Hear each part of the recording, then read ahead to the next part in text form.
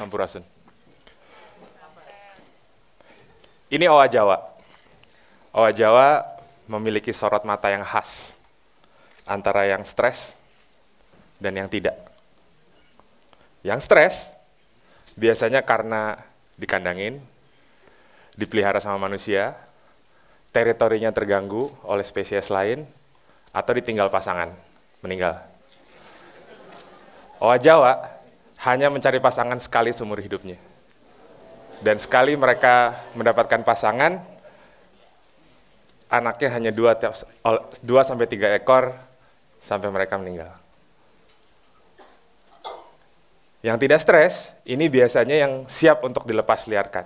Mereka punya sorot mata dengan semangat hidup yang amat sangat tinggi. Karena itulah kami melepas liarkan owa Jawa. Tapi tidak begitu saja. Untuk melepas liarkan owa Jawa, kita perlu habitat yang sesuai syaratnya vegetasi dan altitude-nya harus sesuai.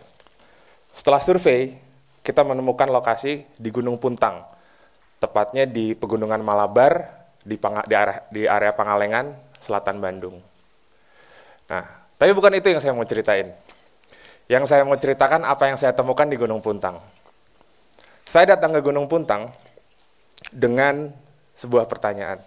Jika vegetasi dan altitude-nya cukup, Terus kenapa nggak ada owa Jawa di sana?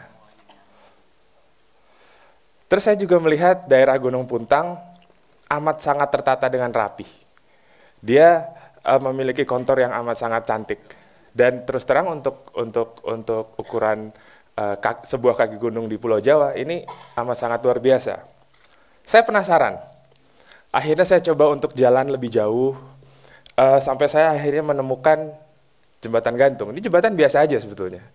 Tapi di sebelah kanan saya, saya menemukan bangunan ini. Yang sepertinya jembatan juga, tapi nggak dipakai. Saya tanya ke orang-orang lokal, ya memang ternyata tidak dipakai. Saya tanya apakah rusak atau tidak, nggak ada yang bisa jawab.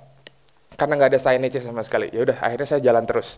Saya jalan sampai saya punya kesempatan untuk memotret Gunung Puntangnya. Secara vegetasi memang memang luar biasa. Ini memang cocok untuk pelepas liaran owa Jawa.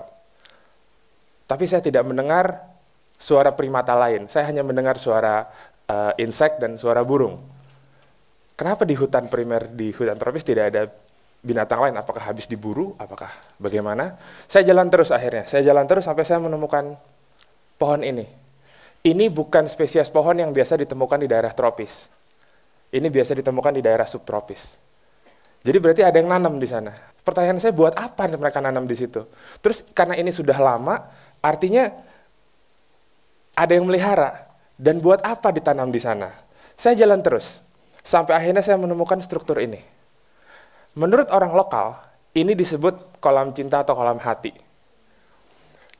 Tapi saya nggak percaya itu. Kenapa harus buat kolam cinta di atas sana gitu? Ini 1350 di atas permukaan laut. Buat apa gitu ada di sana? Uh, saya coba foto lagi uh, strukturnya karena besarnya lebih besar dari ruangan ini saya melihat bahwa strukturnya lebih menyerupai segitiga atau atau anak panah gitu. Saya coba saya makin penasaran dan saya coba telepon teman-teman saya yang di Bandung uh, yang punya uh, peta tiga dimensi fotografi, uh, topografi daerah Gunung Puntang. Saya harus pastikan di mana saya berada. Dan saya mendapatkan gambar ini dan memang ternyata tempat saya berdiri di kaki Gunung Puntang dan Gunung Haruman. Nah, di sini saya melihat uh, bahwa struktur yang saya injak tadi itu buatan manusia, tidak secara natural dibuat adanya gitu. Saya makin penasaran.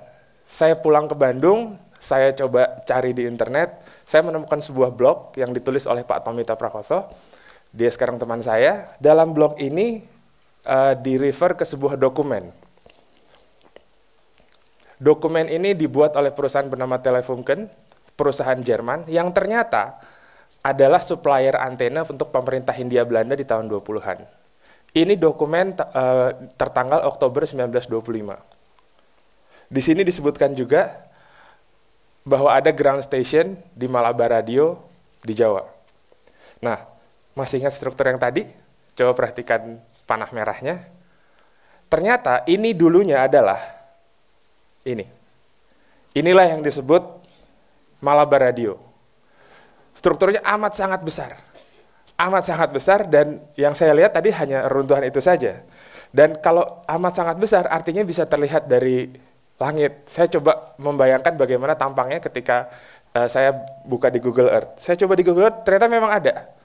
Dan kalau kalau kalau kalau kita perhatikan bangunan-bangunan Belanda zaman dulu selalu menghadap uh, mata angin utara, selatan, timur atau barat. Nah saya penasaran ini menghadap ke mana ya? Saya coba cek ternyata dia menghadap 38 derajat northwest. Kalau saya ekstrapolat ke peta yang lebih besar, memang menghadap ke negeri Belanda. Tapi dia secara sejajar sejajar dengan Gunung Puntangnya. Berarti secara natural Gunung Puntang dan Gunung Harman pun menghadap ke negeri Belanda. Siapa yang menemukan itu? Dan buat apa radio sebesar ini? Saya penasaran, saya cari eh, foto-foto uh, berikutnya saya dapatkan dari Tropen Museum di Amsterdam. Ternyata dulu ada ruangan Morse, di mana mereka exchange data. Saya nggak tahu data apa yang mereka exchange, apakah data-data intelijen, operasi militer, bursa saham, infotainment, saya nggak tahu. Apa pun itulah. Ya, tapi yang jelas ada form of exchange data. Dan saya juga nemu studio radio di sini yang secara akustik didesain dengan baik, ada mikrofon besar di tengah-tengah uh, uh, meja dan ada piano di sana. Berarti ada sebuah bentuk entertainment yang di exchange gitu. Saya juga menemukan ini. Ada satu tabloid yang bernama Halo Bandung ditulis uh, dibuat tahun 1923. Artinya ini merupakan sarana mereka yang kangen di, yang dipisahkan antara dua benua gitu. Apakah ini wartel pertama kita? Saya kurang tahu. Tapi yang jelas ada logo ini. Logo ini ditempel di radio di Belanda, di mana mereka mengumumkan bahwa memang mereka bisa menyiarkan dan men, me, meripit siaran yang dari dari Gunung Puntang waktu itu.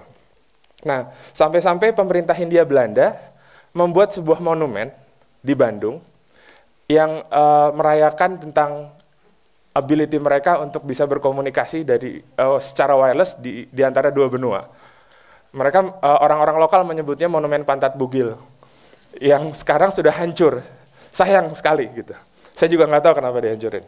Nah, untuk effort sebesar ini, di mana ternyata bentangan Radio Malabar ini di antara gunung, punggung Gunung Puntang dan punggung Haruman.